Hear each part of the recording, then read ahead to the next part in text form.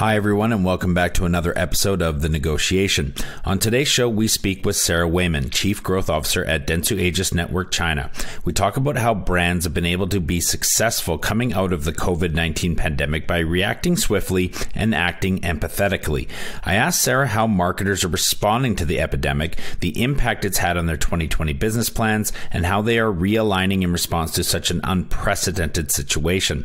We also looked at how logistics and supply chain challenges challenges are impacting marketers right now and in what verticals, as well as the resilience being shown by both marketers and consumers. We talk about the impact on mainstream brand equity that the coronavirus has had, tracking across awareness, quality, and reputation metrics. We also discuss the regulatory and policy landscape around marketing in China, especially with regards to the coronavirus and maintaining integrity so that products and services designed to help counter the pandemic are allowed to be front and center. Enjoy. The Chinese local brands are incredibly flexible in how they adapt new consumer trends in, in comparison to, to Western brands. Um, and what we do find is that, that Chinese uh, local brands um, and players tend to have quite centralized organizations. So their decision makers um, quite often are normally the founder or their direct appointments that are connected into the CEO. So they have a huge amount of immediate influence over everything that's related to the brand. And they're fully accountable for the sales um, that are happening. So once a decision maker is convinced of the importance of a new consumer trend and they've decided that absolutely yes, that's the focus that they want to move in. So whether that's products or services or communications towards that trend, the whole organization responds at speed. And I think some of the challenges for the Western brands who have more multi-market and layered decision making processes is that they're just too slow. Home to over 4 billion people, the Asia Pacific region boasts one of the most powerful consumer markets on the planet. Not only is it home to half the world's under 30 population, but it's also home to more than half the world's internet users. It's a market no globally minded brand should ignore, but entering markets like China is no easy task. Just ask the likes of Microsoft, Google, Uber, and Facebook. Times are changing, and with the right partners, doors are slowly opening as more and more companies find success expanding into the markets of the Middle Kingdom. I myself spent eight years in China, mostly as a venture capitalist, helping early stage tech companies enter the Asia Pacific market successfully. This show is dedicated to uncovering and examining successful China entry and growth strategies by interviewing the people behind those success stories. My name is Todd Embley, and welcome to The Negotiation, brought to you by WPIC Marketing and Technologies. Sarah, welcome to the show. Thanks for coming on today. Thank you very much. A pleasure to be here. Tell us a little bit about your background uh, and how it pertains to China and what you've been doing there. So, uh, so I think probably my, my first confession that I would have to make about my move to China is that uh, it wasn't overtly planned. I didn't arrive in China having uh, studied uh, here before um, or had a, a, huge connection into the into the marketplace. But I, I came. Um, I'd been working for Dentsu in the UK for around about three years, and I'd been working on more and more international projects for different clients and was like, okay, this is this is the time. I, you know, I want to I want to go and, and work and explore different markets and uh, and an opportunity in Asia came up, and, and then uh, China came up as a, as a result. And, and they said, How do you feel about being based in Shanghai? And I said, Oh, uh, I'm not sure. Okay, give me 24 hours. And, and 24 hours later, I was like, I'm in, definitely. And I, I think something that has just been abundantly clear um, in the in the past five years since coming here in, in 2015 is this is absolutely one of the most exciting places in the world to be doing marketing. And I, and I think that decision that I made um, back in 2015 when I was evaluating the different options was that, you know, if you, if you want to be at the forefront of where things are really changing and how you work with platforms and, and how consumer engagement models are changing, you're probably looking at, you know, either um, uh, either North America or you're or you're looking at, at China. And and I, you know, I've had an incredible journey here over um, the past five years and working with an amazing team working on some fascinating client uh, briefs and um, and I think for me it's the the diversity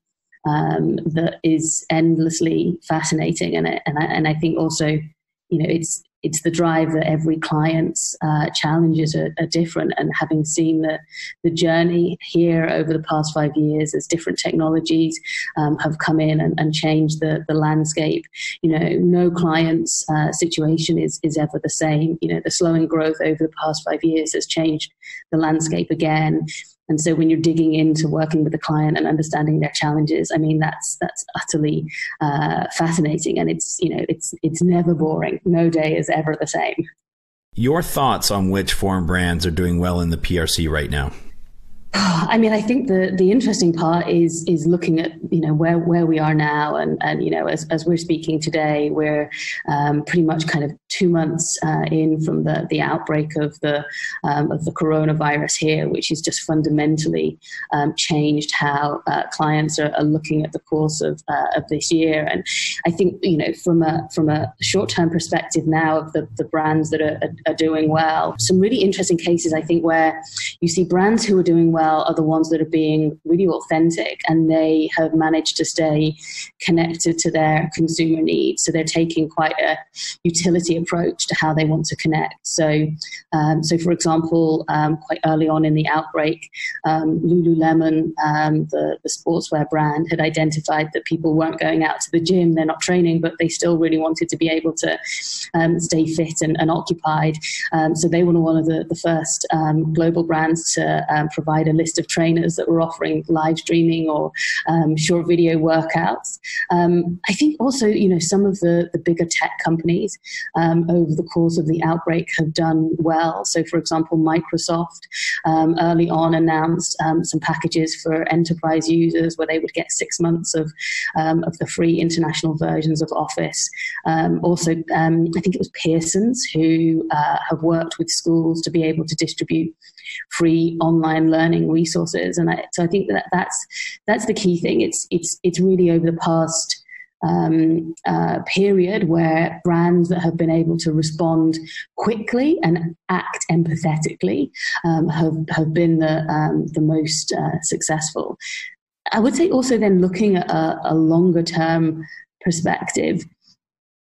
I've certainly seen that there's a shift that when you're looking at foreign brands in China, preference shouldn't be presumed. And being a Western brand used to be an advantage. And I, I think in the past, there was a, an idea that uh, Western brands would be naturally preferred because they were associated with high quality um, and prestige, and, and, that's just not true anymore. You know, there's such a diversity of, of choice, um, and there's increasing premiumization in the market that Western doesn't equate to better. And the, the, Chinese brands that have come in have really worked very hard to change the perceptions of low product value and quality, and they've got smart product design. They're, um, you know, they've improved their brand image. They act incredibly quickly.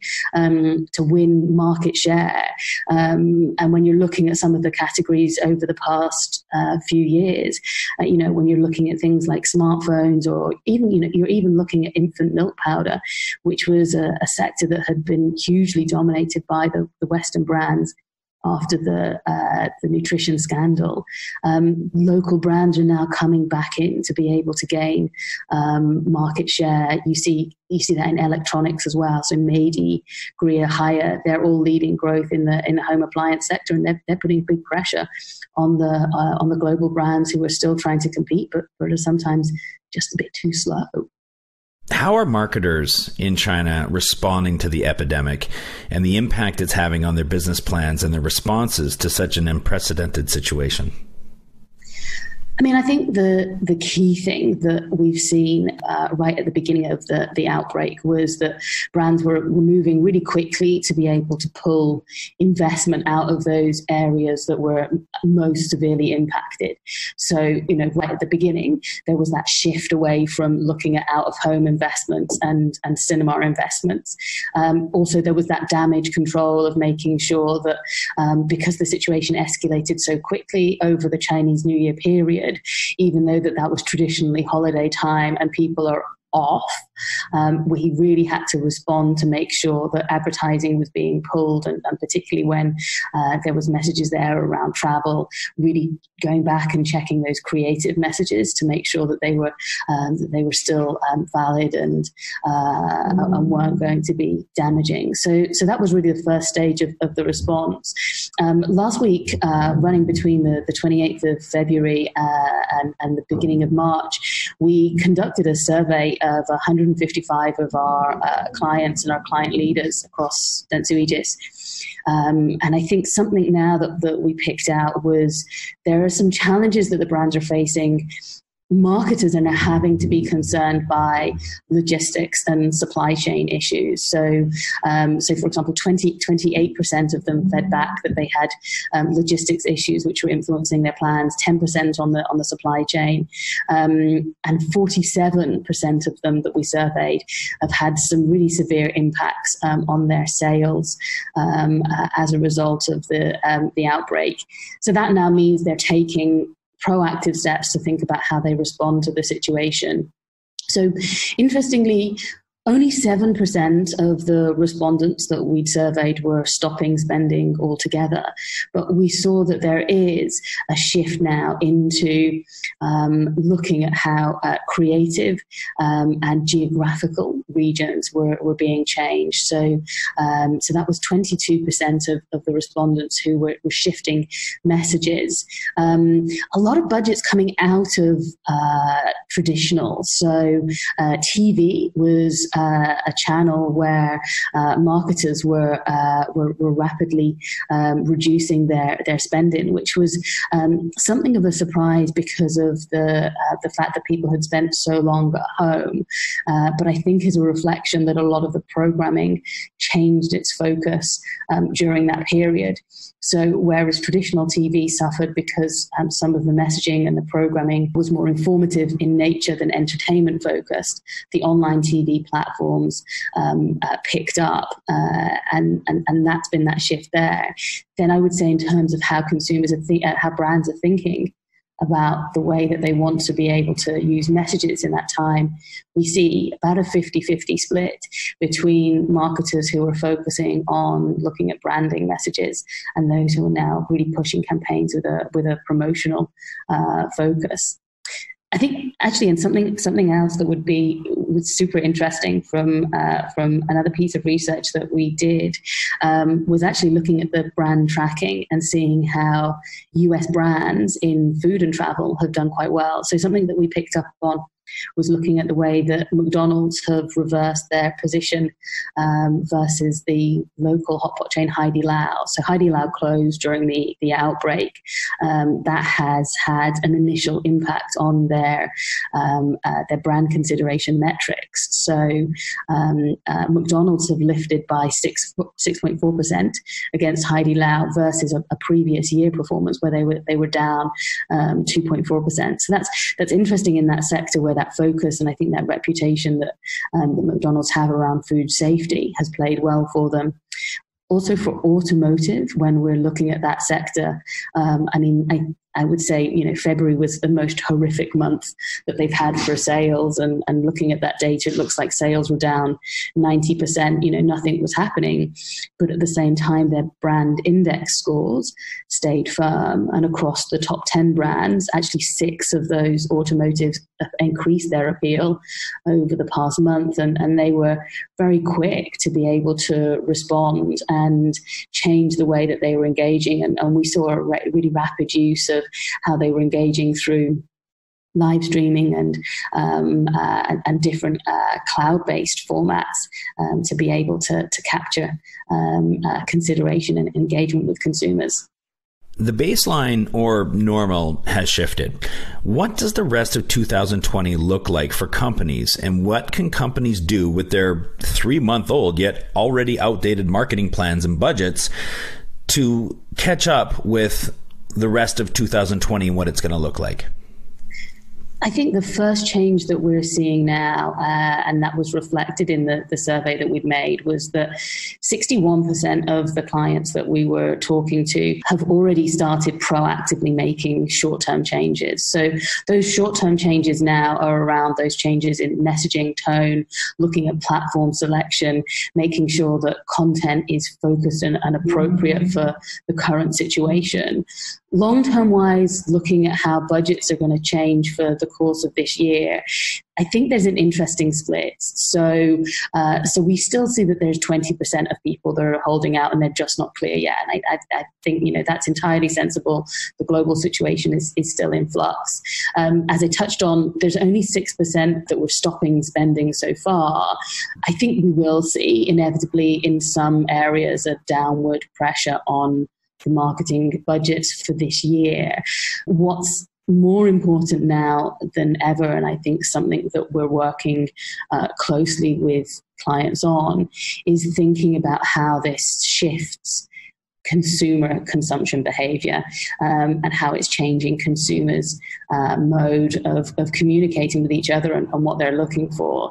Um, so, certainly, something that um, I think we'll see a lot more of is um, just that continued growth into uh, e commerce. That, that landscape will continue to, to grow um, and change. Um, that changing dynamic between online and offline services, the role and influence of, of social social commerce, um, I think will uh, will continue to to peak throughout the year. And, and, I think particularly as we're looking at that nature of social commerce around trusted advisors, is going to be uh, an, an, interesting area to be able to um, to develop uh, and and grow. But I think the key thing for um, for the for the for the rest of the year and looking at those plans is that brands now really have to, as we start to turn the corner in China um, and the containment processes have, have been successful, is thinking about how to plan for that bounce back how to um, uh, how to be part of um, of that story. And uh, and again I think you know e- commerce festivals um, will be a, a, key part of that. Um, CRM is going to be really vital you know thinking about how to be able to build listen to data signals that your consumers are, uh, are giving you being able to respond to those uh, appropriately. So um, yeah it's going to be an interesting year ahead. Are you advising any of your clients ahead of time of any potential strategies that they may want to employ once the markets return and the consumers return and the blood starts flowing again? Yeah, absolutely, and, and I would say you know there's a there's a a, a a, big percentage of clients who are already well stuck into making those uh, proactive plans uh, with us and, and thinking about how to be able to, to respond ahead. Um, I think the, the slightly unknown factor at the moment and, and where this, you know, the predictions still remain in flux um, when we're looking at making the predictions for um, advertising spending in the, the rest of 2020 is going to be driven still by what happens at a global level and that agenda. Um, and I think you know one of the the biggest uh, areas in, in that respect will um, will probably be for China looking at what happens with the the, the Tokyo 2020 Games because um, that's predicted to be a, a, really big driver in terms of TV audiences and online viewing audiences because uh, in comparison to Rio, there's just that hours time difference between Tokyo um, and particularly coming on the, the back of the, the outbreak. I think there's that that potential there that Tokyo 2020 2020 does create a, a strong shift and turn in momentum for um, for the rest of uh, rest of the year. How are logistics and supply chain issues challenging marketers right now? I think it's the key thing at the moment that's being impacted for, for logistics and, and supply chain is uh, is where we look at markets like uh, automotive, uh, and, and and it's the manufacturers that have um, large sites in in Hubei that are going to struggle the hardest. And I, I, think when we're looking at the rest of China um, now, the situation when we're looking at the the numbers for new cases is really under control. The governments in uh, Shanghai and Beijing and Guangzhou well as the kind of the key um, big tier one cities, have really rigorous processes in place to be able to uh, to control uh, the uh, the continued spread of the the outbreak and, and how they manage people coming in. But you know, when we look at the fact that there's 60% of, of light auto production that's located in the most seriously affected provinces, that's a huge challenge and uh, you know we see that going beyond borders as well um, and impacting international supply chains i think that's uh, that will still have uh, impact as we move into uh, into q2 uh, and hopefully that situation in, in Hubei responds. Um, vice versa, you know, something that's been a challenge for manufacturers across China and we see that in the south of China, looking at the connections between, um, for example, between Shenzhen and Hong Kong, is where you've got garment manufacturers, um, and it becomes more of a challenge when you're having to deal with the fact that there is the the 14 day quarantine periods that are that are taking place. So that's that's causing friction but I also think that there's a certain amount of resilience that we're seeing from uh, from marketers uh, and from consumers in how they deal with that situation. And I, I, think something that was interesting that we picked up from the survey when we're looking at the fact that marketers are having to now address different issues.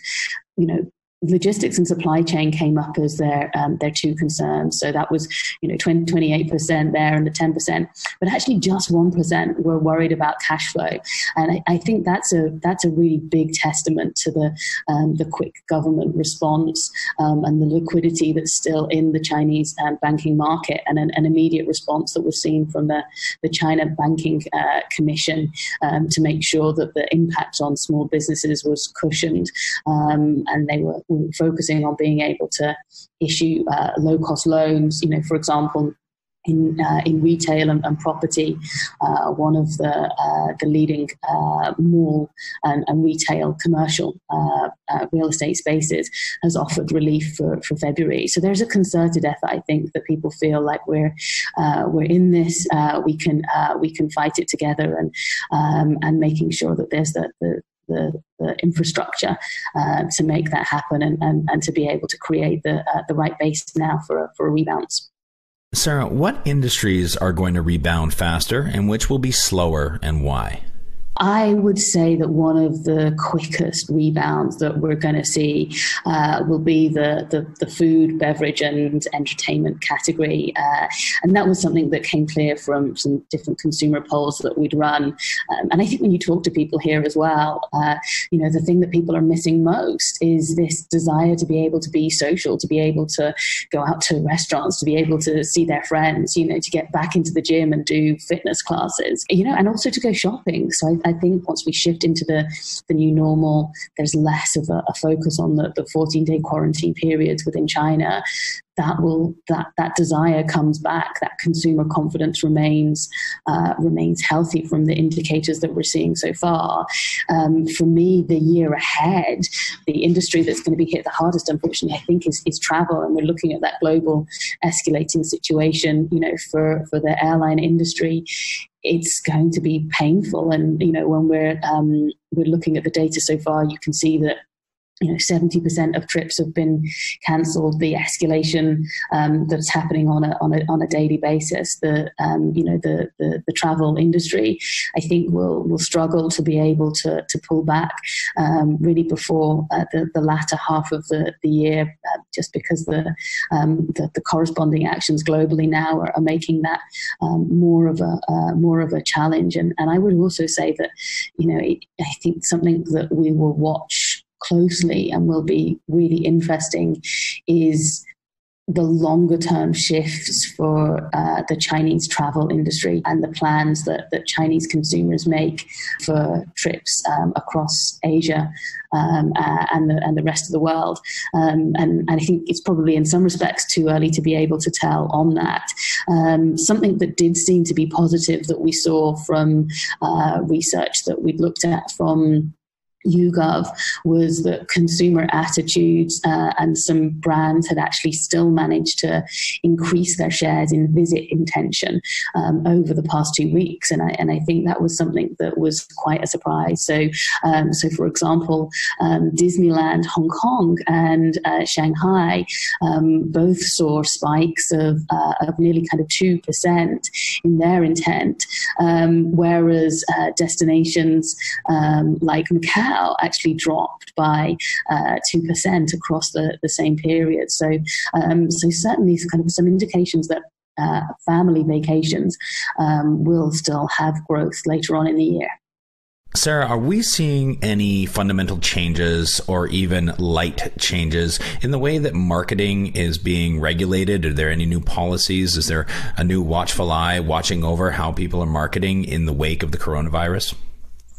I wouldn't say that there's a, a, new watchful eye. I think something that we've seen and has been very clear from the um, from the initial outbreak in January um, is that focus on on making sure that the flow of information is uh, controlled and accurate. So, uh, so for example, on the 12th of February, um, we saw that the authorities had strengthened some of their controls um, over advertising policies during the, the epidemic period. And, and that was really specifically focusing on uh, making sure that there were no false claims being made. And, and, and the restrictions here already around advertising and particularly pharmaceutical advertising um, are, are, pretty robust. Um, so this was really a, a, a, new directive that, that just absolutely clarified that situation. Um, and the focus that we've seen is making sure that um, businesses and brands can't try and, and launch um, products or promote products that would capitalize on the impact the virus uh, or make claims or suggestions um, around relief that hadn't been uh, approved or uh, or were accurate. So, um, so that's certainly a, a, a, focus that, that we've seen from an advertising perspective. I would say from a interesting logistical perspective. There's also the growth that we've seen in the way that authorities are being able to respond to the situation by using technology in a really smart and interesting way to be able to um, uh, to look at how um, people's um, health uh, tracking and, and situations are, are, being monitored, and uh, we've seen that um, in the way that you can uh, you can now scan and, and use a, a, mini app um, to be able to track your health uh, status, um, uh, to make it easier to be able to um, to move across the city and, and access buildings, or for people who have returned back from the highly impacted areas. So, for example, Korea, Japan, or, or, or Italy, being able to, to track and, and measure health status um, based on their entry or exit uh, records at, at ports or, or airports in China. Has the coronavirus had an impact on brand equity of mainstream brands? Uh, and can you speak to which ones and, and across which sectors? Yeah, so we had a, a look uh, at the four weeks moving average um, in February for a number of the, the key brands in China, and we've been tracking that across awareness, quality, and, and reputation metrics. And actually, that that that result is is positive. Um, there's been a limited impact so far um, on key brands. The biggest drop that we saw um, when we were looking uh, at, a, at, a, broader pool was Air China, um, who dropped by um, just over 10 points um, at the at the latter end of the month. in comparison, when we're looking at the the health metrics, there was some really strong gains made by uh, Taobao by the e commerce uh, platform in China, looking international brands um, again across that period. Um, travel brands, Shangri La held its own. It had a, a, pretty steady performance, tracking marginally down by a few percentage points um, in terms of, uh, of quality, um, but still maintaining its score on, on reputation. Um, KFC, despite the fact that it had to make the decision to, be, to shut a number of locations across China in the period, um, enjoyed really stable growth across um, all of its, its key metrics. So I think again, it's a it's an indication that uh, consumers are not uh, they're not panicking um, they're they're resilient and, and, and they are going to be you know ready to uh, resume uh, activities in in the near future. Sarah what is brand index and how is it measured so, brand index, uh, when we're tracking it, is an overall score, um, and that looks at, at, six different metrics that are that, that combine uh, together to that to that overall impression. So, we're looking at brand impression. So, this is really thinking about do people feel positively or negatively about that brand. We also look at quality metrics. So this is how consumers respond um, about whether they feel a brand offers good or poor quality. Um, we also track on value, again, looking at, at, at, that range in the way that consumers would score. There's a connection in there for satisfaction, um, which is really important. And I think, you know, particularly when we're looking at the, the Chinese consumer uh, in, in general, um, uh, their shift into e-commerce, they're some of the world's most demanding consumers. So satisfaction um, is something that can really drive opinion up or down um, quite quickly. Um, and then we look at uh, again recommendations. Would you would you recommend the brand? And this is something that um, that falls into some of the tracking that, that brands would do themselves around looking at their ongoing um, net promoter score. Um, and then finally, that also brings in um, brand reputation uh, scores. So, um, would you would you feel proud or embarrassed to be able to um, to work for the brand? And, and I think something that's been interesting to pick up in China um, over the past twelve months um, uh, is that this idea of, of do you feel um, proud or, or embarrassed, this tone of voice that brands have um, needs to needs to be really closely connected into uh, the culture and the general conversations um, that Chinese consumers are having, and that there is a huge potential to make a misstep um, if you get things wrong in that area. And, and, I think that's where you really see that brands are successful in, in China when internationally their global teams are closely connected and, and listening into their uh, their local teams to be able to get those signals so that those communications come across in a, in a really authentic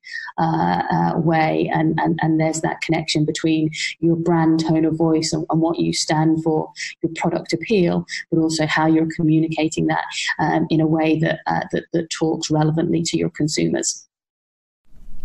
Zooming back in on the last five years, your role and your body of work in China, how has the industry of marketing and communications networks in China evolved? And is there a competition with local firms? Where might the Western firms or Western focused firms fall short or perhaps excel compared to their Chinese local counterparts? I think something that we, we really see, um, and taking a, a, broad view, you know, the, the Chinese local brands are incredibly flexible in how they adapt new consumer trends in, in comparison to, to Western brands.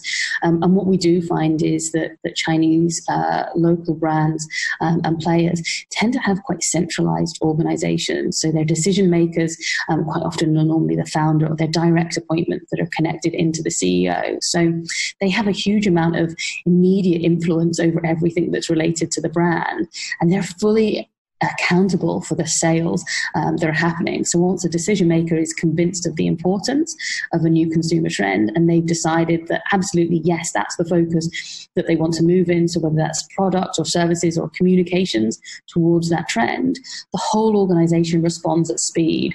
And I think some of the challenges for, for Western brands who have more multi-market and layered decision making processes is that they're just too slow. But that said, I, you know, the situation isn't all bad. And, and I think some of the most successful global brands in China are, are, those that have still managed to be really authentic and relevant with how they engage with their consumers here. And, and I think if we look at uh, the developments that, that, one of our clients uh, has made. So Coca-Cola across their portfolio is a, is a great example.